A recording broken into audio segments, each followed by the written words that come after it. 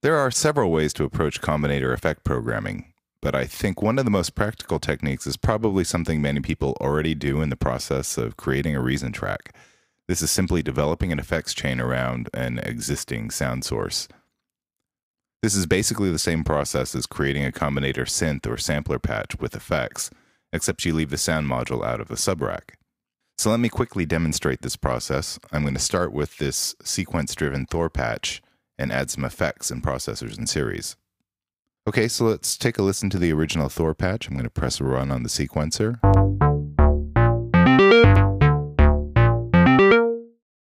And so there we have our source audio.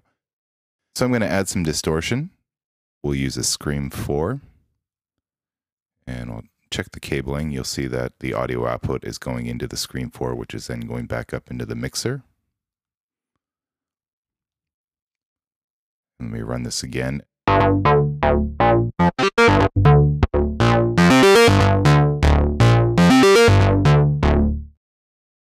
And so now we have our sound distorted by the Scream 4.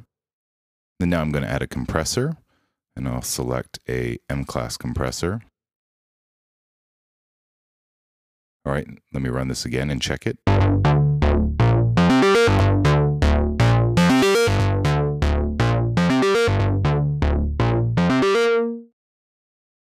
Good.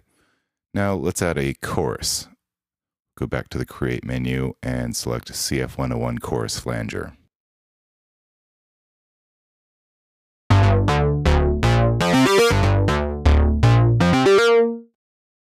All right, so I've got to make one cabling adjustment to this.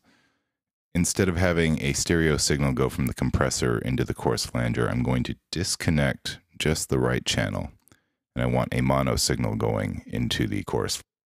This way I'll get the pseudo stereo effect generated in the chorus flanger. Take a listen.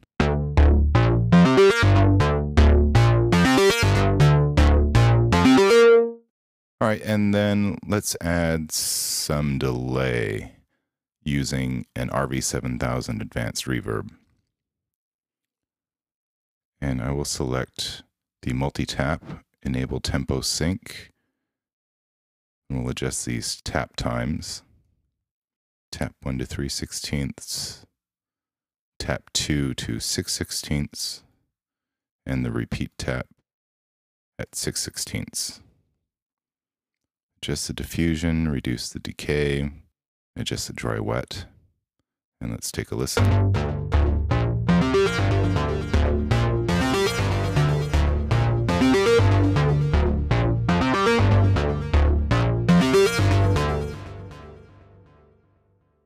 Okay, so there I have my effects chain. Comes from the Thor into the Scream 4, and then from the Scream 4 it goes into the compressor. And it goes from the compressor as a mono signal into the chorus flanger, and then out of the chorus flanger as a stereo signal into the RV7000, and then from the RV7000 it goes back up into the mixer. Okay, so now I'm going to take this chain of effects and turn it into a combinator patch. I will hold down the shift key and start selecting each of the devices. Then I'm going to right click and select the combine function. And all of the effects are now nested in a combinator in the subrack.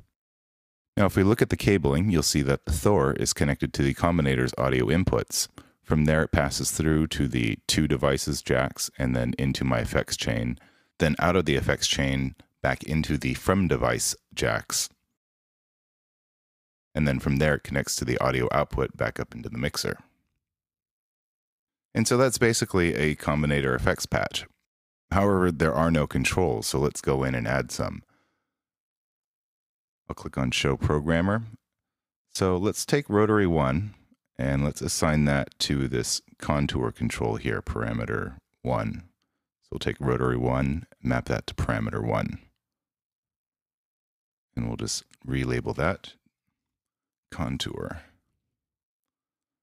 Then for the compressor, I'm going to map rotary 2 to both the input gain and the output gain.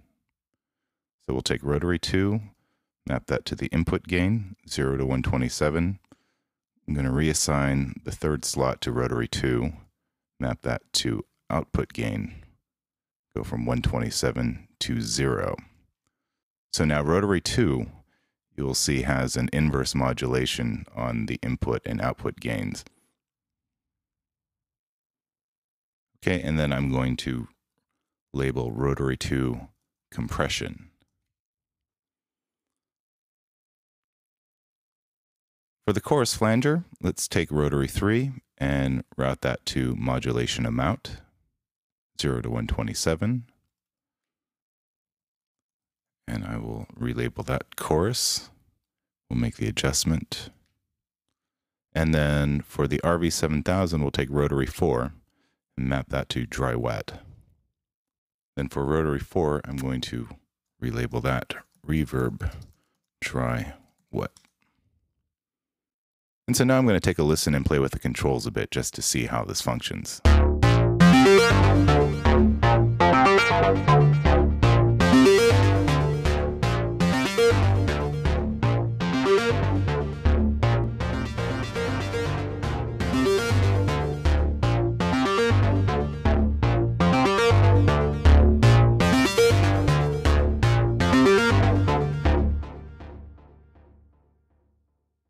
And so that's sounding good right there. So I'm going to save this patch now. We'll call it distorted delay. And so there we have our basic combinator effects patch. And like I said, this is probably something a lot of you may have already done. And so you can easily go back to some of your old song files and look for different groupings of effects devices, wrap them in combinators, and then apply controller mappings to them.